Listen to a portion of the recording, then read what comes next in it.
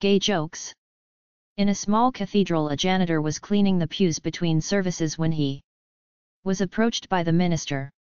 The minister asked the janitor, could you go into the confessional and listen to confessions for me?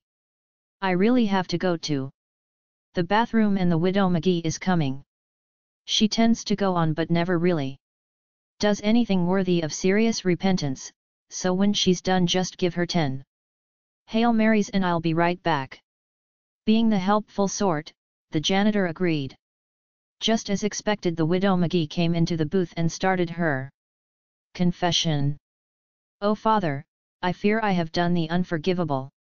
I have given into carnal thoughts and have had oral sex. Stunned, the janitor had no idea how to handle this situation. Surely ten Hail Marys would not do.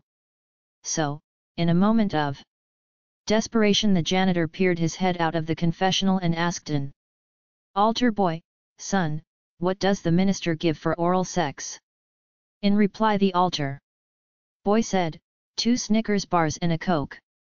Black humor jokes. How many babies does it take to paint a house? Depends how hard you throw them. Jokes about women.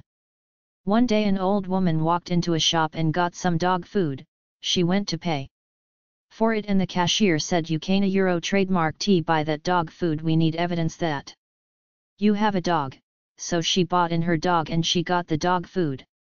The next day, the same old lady went to get some cat food and the cashier said you can't euro trademark T.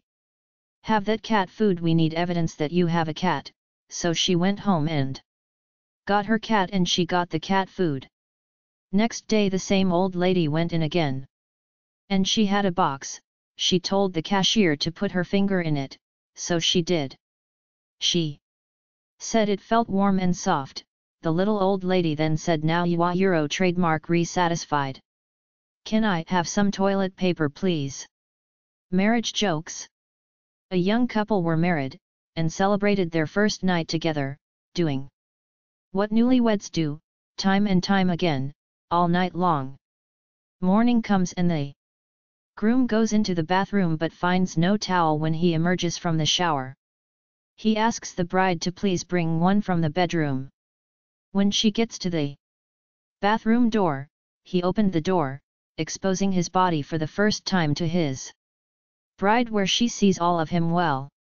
Her eyes went up and down and at about midway, they stopped and stared, and she asked shyly, What's that? Pointing to a small part of his anatomy. He, also being shy, thought for a minute and then said, Well, that's what we had so much fun with last night. She, in amazement, asked, Is that all we have left? Disgusting jokes. How does herpes leave the hospital? On crotches.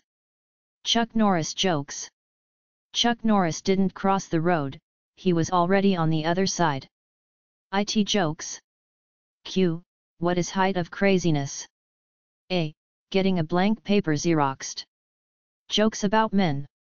A new bride was a bit embarrassed to be known as a honeymooner.